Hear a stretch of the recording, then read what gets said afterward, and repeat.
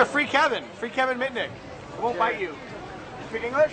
And we're trying to uh, get the message across to Miramax that it's wrong to release a movie that's supposed to be factual, that are based on real events, that people are people are going to see this movie and think this is the true story, when so much of it has just been completely fabricated. I've heard about this guy. Really? Here, help stop a movie about a computer hacker. You got a problem? Yeah, I got a problem. Come back and tell me about it. Pussy. But you know, I mean, it's hard to believe that someone in this country could be in jail for three and a half years, held in a maximum security facility, no bail, no trial. I don't find that very hard to believe. I read a book, Takedown. Takedown, that's right. I read like half of it. Even if you get someone in jail, you probably take over everything. That, that's the problem, is people think that, but it's not true. Well, you don't think you could hack on anything if you just guess online? No, we can't hack in anything just by getting online. I mean, you gotta have a program or whatever. Why are you recording this? Hey, read about Kevin Mitnick? They're making a movie about this guy. It's the best guy ever. I know him since I was like day one. yo. That's my hero. I need your love so badly. He's never done anything wrong. He's never hurt anyone, and he's being treated like that in this country. That is the American way. Wake up. Kevin was denied bail, you, you know, even a bail hearing. So, if you recall, even Ted Kaczynski got a bail hearing. His bail was turned down, but he got a bail hearing. You're entitled to bail hearing.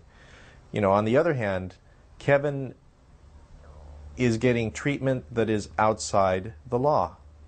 And that's what makes it very difficult for him to mount a legal defense. He's not being treated in a legal manner. I've never heard of anything even approaching this level of uh, confinement prior to a trial. Murderers get bail. Armed robbers get bail. And so the, the fear of what he's going to do from a push button telephone in a general population of a cell shows again a lack of technical understanding on the part of the prison and judicial system. And I think that's sad. And he is right now the victim of that. On our way up the coast, we dropped in on Sun. According to a letter we got our hands on, they said Kevin's acquisition of their source code represented hundreds of millions of dollars in damage. Now they give the source code away for free. Something wasn't right. So we're right here um, on the other side of the freeway. There's the other sun, which I believe you guys already saw. And then further up, this is their big campus, which basically all of uh, all of I this blank area is actually Sun buildings and Sun streets. We knew where we were. Now we just needed someone to talk to. Where? What number do we call? Who do we speak to? One eight hundred USA for Sun, and they can direct you to whoever you need. USA for Sun. Mhm. Okay. Do you remember that, or do you want me to write it down? The receptionist wouldn't let us talk to anyone unless we called that number, but we slipped some of our leaflets onto their coffee table. I thought you was being kind of patronizing. Do you want me to write that down, or can you remember it? I can remember it. Remember it, dear. USA for Sun, right? Was that it, or was Yeah, it yeah. Sun for USA? Yeah, USA Fuck. for Sun. Sure. I have it in some. Should I run in and ask her again? Thank you for calling Sun.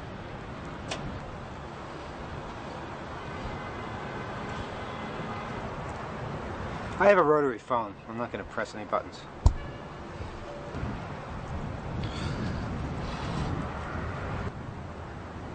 Pressing zero. I'm probably to get hurt too. My call may be monitored.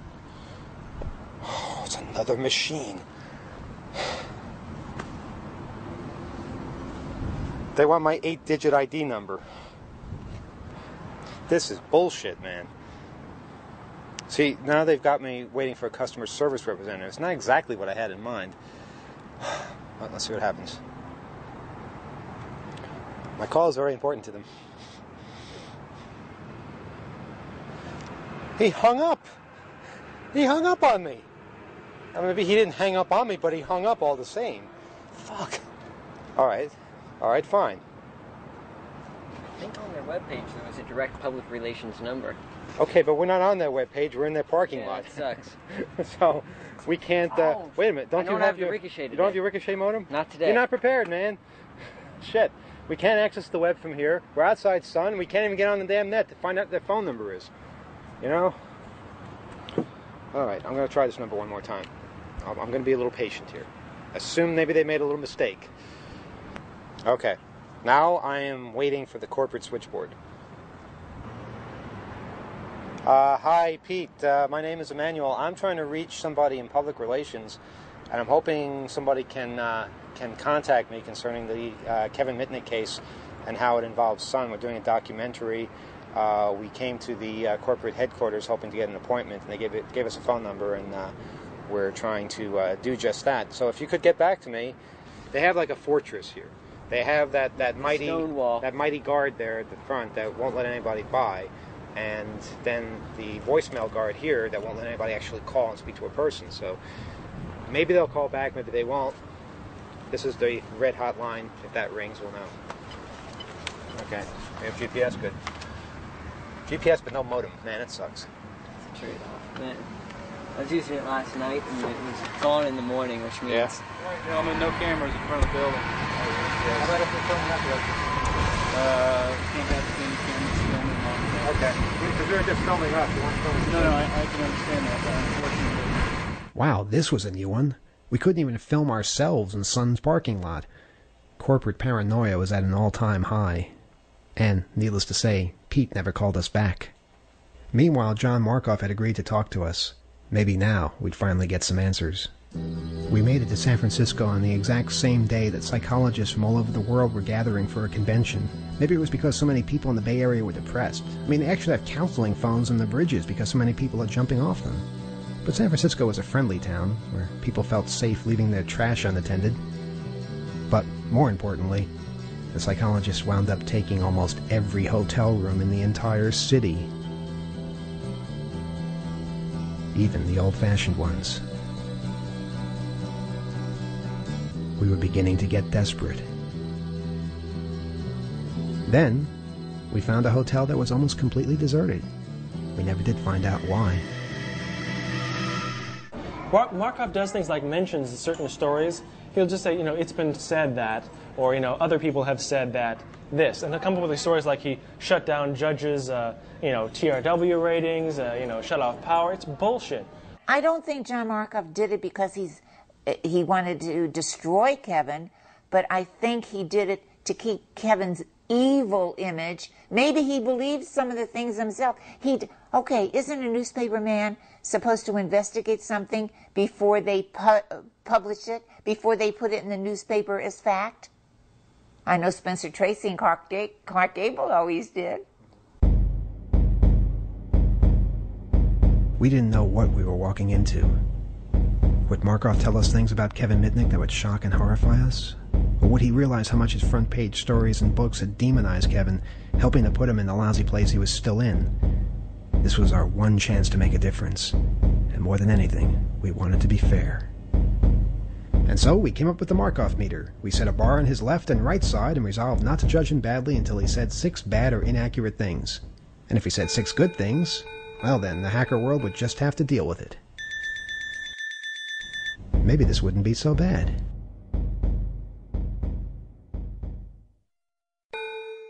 Now there's an easy point for common courtesy. I wanted to get right to the heart of the matter, like how they knew it was Kevin they were chasing in the first place. When I called the Qualcomm guys, they had been talking to the FBI, and the FBI believed that it was Kevin who had social engineered them. Why? Um, what I don't know enough about what's going on, in, what was going on inside the FBI investigation. Um, that's a good question. I, I don't know why, um, but the FBI told the Qualcomm people that it was Kevin, and to my mind, as a reporter, it fit Kevin's mo. Which is what? Um, social engineering, really good social engineering. There are thousands of hackers out there. Social That's true. engineering. For That's true. That, that's true. That's true. I'm not saying it's proof. I'm simply saying the FBI believed it was Kevin. Did they hear a voice, or they have a voice recording, or any kind of Um, did they have a voice recording? That's a good question. What did they have? This we couldn't forgive. I mean, before you go and print front page stories about people eluding the authorities, shouldn't you have some real conclusive evidence? What did Kevin do that was different than what? Well, he had a reputation as being a very good social engineer.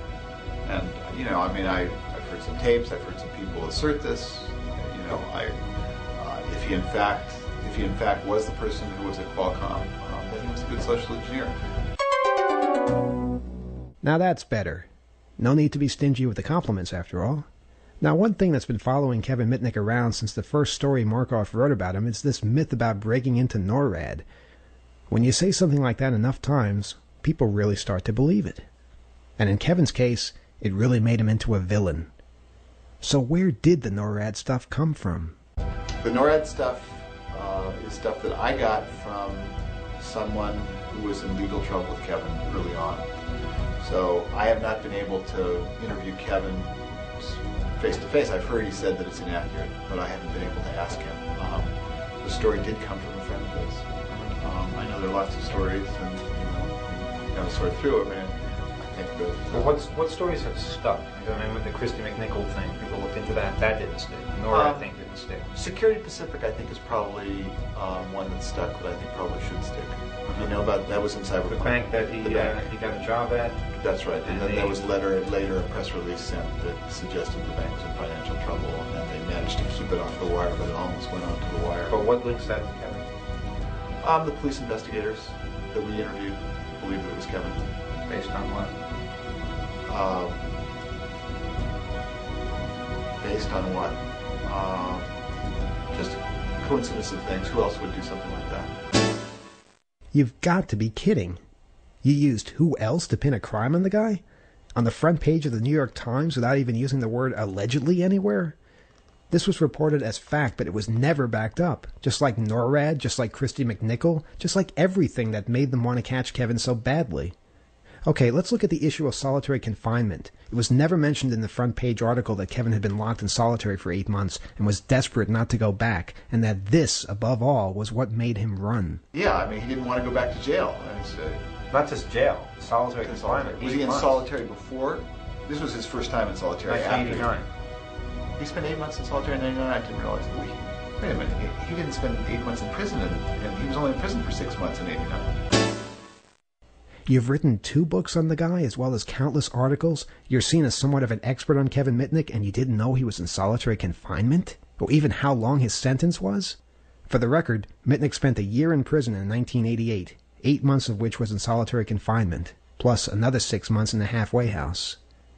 It's a good thing those psychologists were in town so we could confirm that locking someone like Kevin in solitary was a pretty fucked up thing to do. Think it's inhumane, and I think that there are better ways to handle our problems. This is not, I mean, obviously, if this person has been able to do some of the things apparently that they think he was doing with the computer, he's very bright. That's a real talent that's being wasted. And to lock him up, especially in solitary confinement for eight months, that's, we wouldn't treat an animal that way. You know, and yet this is a talented individual. Excuse me, it's not right. Thank you. Thanks very much. He was, he was in solitary the entire time he was at, at Lompoc? A large amount of time. Really, I I didn't didn't realize realize Yeah. yeah, that's pretty hard. Okay, Markoff gains a point for that show of humanity. Now, here's something interesting. When Kevin was on the run, he communicated with an Israeli hacker known as JSZ, who was believed to be the mastermind behind all the hacking that Kevin was blamed for. Yet, Markoff never wrote a story about this person and didn't even follow through when JSZ moved to New York. In fact, none of the authorities seemed to care either, almost as if these crimes were really trivial. Now that would be a great story, wouldn't it, John? I thought a lot about that, but I'm, you know, I just haven't had the time to, to do the reporting. I mean, I've got, I've got a day-to-day beat out here, and uh, you, you know, you're right. It's probably a great story. I would love to talk to JSZ, and maybe I should come to New York. And, But that was the story that was going on back then. That's JSZ right. was, was supposedly the mastermind behind everything. And, and the Well, conversation. I never knew what the relations were. The only thing I knew about, the only thing I could say that I knew was that um, JSZ and, and Kevin were actively trading information on software. That's that's what I knew. I knew nothing about masterminding. I mean, you know, my if I if you asked me to reconstruct just from what I knew, it was um, JSZ provided the tools and Kevin made the attack. But I have no idea if that's true. No idea?